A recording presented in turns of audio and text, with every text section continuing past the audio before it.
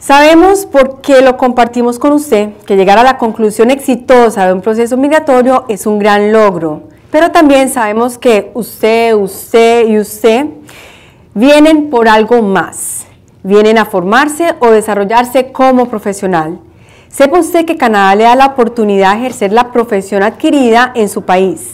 Es solo cuestión de tiempo y empeño y en CI Canadá queremos acompañarles también en este proceso. A continuación, invitamos a Natalia Parra, ella es especialista jurídica, que nos dará detalles de cómo ejercer una profesión reglamentada en Quebec. Muy buenas noches. Eh, es un gusto para mí estar acá esta noche. Gracias eh, por el espacio para permitirme hablar un tema que eh, desde hace más aproximadamente cuatro años es una pasión para mí y es hablarle a los inmigrantes, yo también soy inmigrante como ustedes, sobre cómo ejercer una profesión reglamentada en Canadá. Para efectos de poder conocer un poco de manera general el público que nos acompaña hoy, me gustaría saber quiénes de ustedes tienen una profesión eh, reglamentada, como por ejemplo un ingeniero, médicos, abogados, contables, enfermeras, ok.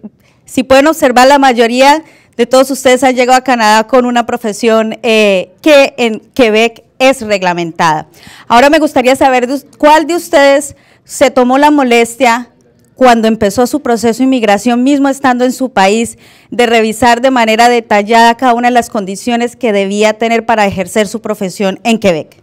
Cuatro. Eh, esto demuestra claramente que cuando realizamos nuestro proceso de inmigración, no tenemos en cuenta un elemento fundamental, nos preparamos para emigrar en el proceso, para emigrar para estudiar, nos preparamos para diferentes esferas donde vivir, qué comer, donde van a estudiar nuestros hijos, pero no nos preparamos para hacer un proyecto profesional en Quebec. Y precisamente esto es lo que busca CEI Canadá, que usted comprenda a través del servicio de cómo ejercer una profesión reglamentada en Canadá. Entonces, para eh, entrar en materia, como eh, el tiempo es muy limitado, voy a hablar en términos generales de, eh, del proceso que se debe realizar y después, si quieren, compartimos de manera individual y, damos algunas precisiones de manera individual, pero quiero que sepan que por qué existen las profesiones reglamentadas en Quebec. Las profesiones fueron reglamentadas porque el Estado quebequense mm, quiere asegurarse que el cliente reciba un servicio de una persona con las capacidades para ejercerlo. Entonces, cuando nosotros somos clientes, nosotros vamos donde el médico y lo que mínimo que esperamos es que el médico que nos recibe tenga las competencias, tenga las capacidades y tenga las cualidades para atender la necesidad que nosotros tenemos. Entonces, esa es la visión del gobierno quebequense garantizar que exista una protección al público en las diferentes eh, profesiones que tenemos reglamentadas. Por eso tenemos profesiones que no son reglamentadas y profesiones que sí son reglamentadas. Aquellas profesiones que no son reglamentadas, como por ejemplo los periodistas, pues tienen un proceso diferente, ellos deben hacer parte de asociaciones, no deben ser parte de una orden profesional específica. Pero cuando hablamos de profesiones reglamentadas, podemos hablar de dos clases de reglamentación o bien las profesiones que hacen parte de órdenes profesionales, son 46 órdenes profesionales que existen actualmente en Quebec o de materias reglamentadas. En materias reglamentarias tenemos todo lo que es eh, la construcción. Y la construcción se requiere ciertas eh, cartas de competencias para poder ejercer una actividad específica, como por ejemplo los pintores, los carpinteros, los ebanistas, eh, bueno, en general varias profesiones que hacen parte de esta reglamentación. ¿Por qué la lista es taxativa? Es decir, si estamos en esa lista, quiere decir que tenemos una responsabilidad como profesional y esta responsabilidad es realizar el proceso para obtener un permiso de ejercicio de la profesión. Quiero clarificar lo siguiente, no es que para trabajar en el dominio, en nuestro dominio en general, requiramos eh, tener el permiso de ejercicio. Podemos trabajar en nuestro dominio. Por ejemplo, un contable puede trabajar en un gabinete de contables, pero jamás podrá llamarse contable, ni firmar como contable, ni ejercer como contable. Y esto tiene una implicación fundamental, no solo en nuestro punto de vista personal, de sentir, bueno, somos contables, ¿por qué yo no puedo recibir un salario como contable? Pues si quiere recibir como un salario como contable, pues es necesario hacer el proceso en la orden de contables. Entonces van a encontrar acá la lista de todas las profesiones reglamentadas. Sobre este particular quiero, quiero solamente que se vayan con una idea y llamar su atención en algo. En nuestros países latinoamericanos estamos muy acostumbrados en nuestros correos electrónicos a eh, firmar con nuestra profesión. Entonces siempre decimos eh, Natalia Parra, abogada. ¿Ok? Entonces deben tener mucho cuidado con esas manifestaciones dentro de Quebec porque pueden recibir una multa de parte de la orden profesional. Para tal efecto, es necesario que clarifiquen en su correo de qué lugar, en qué país son, por ejemplo, abogados o, por ejemplo, ingenieros. Entonces, ingeniero en Colombia, abogada en Colombia, eh, contadora en Colombia, gracias. y estas son las listas, eh, podemos, esta sí pasarla rápidamente de las profesiones. Si usted se encuentra en esa profesión, quiere decir que usted está en la obligación de hacer su proceso delante de la orden profesional para obtener el permiso de ejercicio. Eh, me imagino que a través de todo lo que ustedes han podido compartir, eh, los que acaban de llegar hace un mes, hace dos meses, hace tres meses, hace seis meses, estoy segura que siempre se han encontrado con algún colega que ha, que ha tenido la misma profesión de ustedes en su país de origen.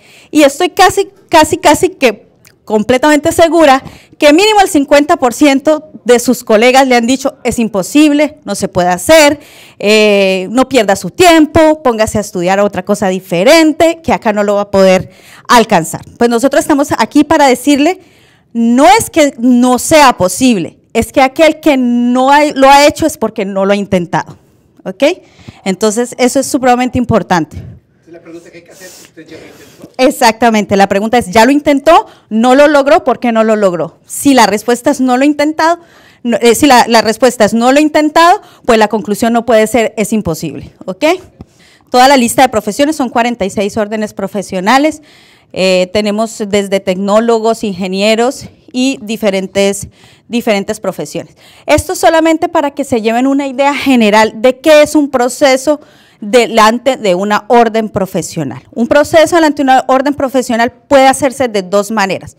Un trámite eh, general, que es el que es el más común, que se llama trámite clásico, o un trámite preferencial. ¿De cuál va a depender? Va a depender no de mi país de origen, del origen, del país del origen de mis títulos profesionales.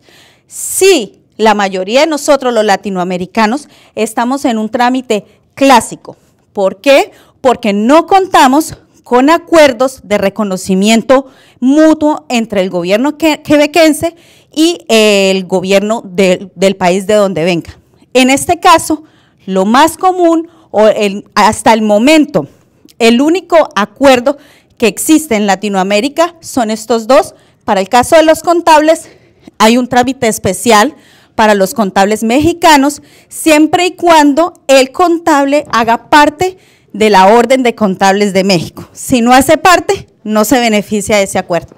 Y tenemos también los ingenieros de Perú, ellos tienen un tratamiento especial porque ellos hacen parte del, acuerdo de Washington y esto hace que el trámite de ellos sea un poco eh, especial eh, en ciertos aspectos, no en todos. ¿Por qué conocer el trámite de una orden profesional? Podemos, tenemos varios ejemplos acá. Eh, ah, bueno, voy a simplemente a clarificar que el nuevo acuerdo, el nuevo Tratado de Libre Comercio entre Canadá, México y Estados Unidos, que conocimos como ALENA, ha incluido en el nuevo tratado un capítulo completo de órdenes profesionales y reconocimiento de las órdenes profesionales para que existan acuerdos de reconocimiento entre México, Estados Unidos y Canadá. Entonces, estamos en vía a que existan acuerdos como por ejemplo el que existe entre Francia y Quebec. En el, en el caso del trámite clásico tenemos varios, varios ejemplos. Entonces, ¿por qué conocer la orden profesional? Por ejemplo, en el caso de una persona que tiene dos títulos profesionales, es importante informarse cuál es el proceso en cada uno de ellos para tomar la decisión de cuál es la más conveniente de adelantar y de realizar y de realizar eh, la preparación del dossier completo. En el caso de los ingenieros, de manera general, estamos hablando de un trámite paralelo. Es decir, vamos a hacer un trámite en WES, que ustedes, la mayoría lo pueden conocer, respecto de su proceso de inmigración, generalmente se hace en proceso de inmigración, y al mismo tiempo hacer un dossier delante de la Orden de Ingenieros de Quebec. En el caso de los profesionales de la salud, en este caso es supremamente importante cuando preparamos el dossier poder demostrarle a la orden profesional que contamos con toda la experiencia clínica. Por eso es importante cuando nosotros montamos el dossier tener una asesoría de qué es lo que debe contener nuestras atestaciones de trabajo, por ejemplo, la que traemos de nuestros países. Cómo demostrar esa experiencia clínica, qué elementos deben estar en esa atestación de trabajo para demostrarle al, al, Colegio de Médicos y al Consejo de Médicos de Canadá que contamos con una experiencia de atención a paciente, atención clínica, atención hospitalaria. En todo lo que es el trámite de, de una profesión en salud, es supremamente importante demostrar la experiencia clínica. Esto pasa también en el caso de los psicólogos, en los cuales eh, Acá es más importante esa experiencia de psicóloga clínica que una experiencia de psicóloga en recursos humanos, por ejemplo. Si una persona tiene una experiencia de recursos humanos y su profesión es psicóloga en su país de origen y quiere continuar en el camino de recursos humanos, pues la sugerencia no va a ser ser parte de la orden de psicólogos, sino ir a buscar otra estrategia, como por ejemplo ser parte de la orden de recursos humanos. Pero todo esto se realiza de acuerdo a un estudio que se hace de las experiencias de trabajo, de los títulos, de hace cuánto se obtuvo los títulos, y es un análisis que se hace para efectos de que la orden profesional haga una verdadera valoración de la experiencia de trabajo. Por eso ustedes siempre escuchan a personas que dicen, presenté mi dossier delante de la orden profesional y no me reconocieron nada de mi experiencia laboral. Quizás no se la reconocieron porque no mostró los elementos que la orden estaba buscando de su experiencia para compararla a una experiencia de una persona eh, que tiene la misma profesión en Canadá o en Quebec. Por ejemplo, el caso de los ingenieros industriales. Generalmente van a la orden de ingeniería y a veces su experiencia es completamente en administración. Esto quiere decir que es más conveniente para esta persona revisar si debe pasar por la orden de administradores o debe pasar por la orden de ingenieros. En el caso de los abogados, pues eh, no, es, no, es, no, es, complicado, es un proceso eh, que se puede realizar fácilmente y generalmente son 45 créditos universitarios que deben realizarse. En el caso de docentes, Escucharon en las anteriores intervenciones todo lo que tenía que ver con la evaluación comparativa de estudios.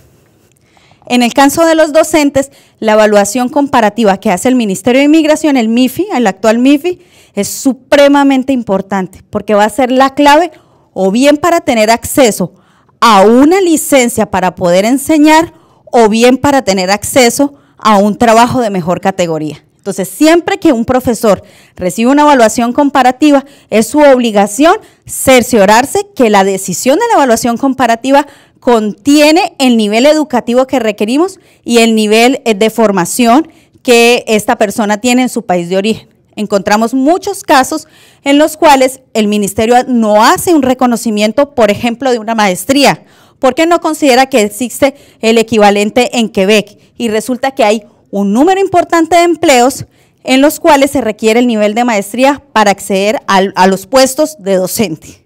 Entonces siempre recibimos la evaluación comparativa, no la revisamos muy bien, no la pasamos como, ah, bueno, sí, me dieron un baccalaureal, pero hay que ir un poquito más allá y revisar si ha sido eh, específicamente mm, valorada nuestro, nuestros títulos profesionales. Cuando se contesta la decisión, puede ser que no existía un claro conocimiento del nivel educativo o puede ser que la persona no eh, presentó em, los documentos necesarios para justificar que el nivel de estudio es correspondiente a su nivel o a una maestría, por ejemplo, en Quebec. Hay muchos recursos que se pueden presentar, hay muchas cosas que se pueden hacer y que las personas desconocen esta información, como por ejemplo el recurso de revisión delante de la orden profesional. Es un recurso cuando recibimos la decisión de la orden y nos damos cuenta que no existe una debida valoración de nuestra experiencia de trabajo o de nuestros títulos profesionales. Ahí debemos hacer una demanda de revisión que se hace a través de un proceso administrativo y en este proceso administrativo vamos a decirle a la orden, revíseme la decisión porque faltaron estos y estos elementos y eso lo realizamos de acuerdo a los reglamentos que tiene cada orden profesional. Cada orden profesional tiene su propio reglamento. Entonces, contamos con un recurso, pero debemos ejercer los recursos en el tiempo eh, que establece la ley. Si ya dejamos pasar ese tiempo, pues va a ser mucho más difícil poder adquirir un permiso de ejercicio profesional con menos condiciones que las que fueron exigidas por la orden en un primer momento. También tenemos el, em, el recurso del comisario a la admisión. Es el recurso cuando, por ejemplo, ya obtuvimos nuestra eh, permiso de, eh, nuestra decisión de la orden profesional. La orden profesional nos va a decir, tienes que hacer un stage, tiene que hacer unos cursos universitarios, tiene que hacer algo. Y resulta que cuando usted va a tratar de cumplir esas condiciones, o no hay acceso en la universidad, o no hay acceso en los cursos, o usted hace un stage y es producto de eh, situaciones de discriminación. Ahí contamos con otros recursos necesarios que podemos ejercer para efectos de eh, hacer nuestro proceso. Y finalmente, el recurso ante, ante el MIFI, que es ah, presentar una demanda de revisión delante del ministerio para efectos de hacer cambiar la decisión de la evaluación comparativa. Todos estos recursos son necesarios conocerlos. Todos estos recursos le puede pasar a ustedes fácilmente, le pasa a las personas, o bien porque no hacen un dossier completo desde el inicio, no se informan de cómo hacerlo, cómo presentarlo, de cuáles son los elementos claves que deben ir en los formularios, en las atestaciones de trabajo, o bien porque em, definitivamente eh, existió un error de parte de la orden profesional y se, y se espera o se trata de cumplir con las condiciones que da la orden sin ejercer los derechos que la ley ha dispuesto eh, para nuestro beneficio como inmigrantes. Estas son leyes creadas para todos los profesionales inmigrantes formados en el extranjero.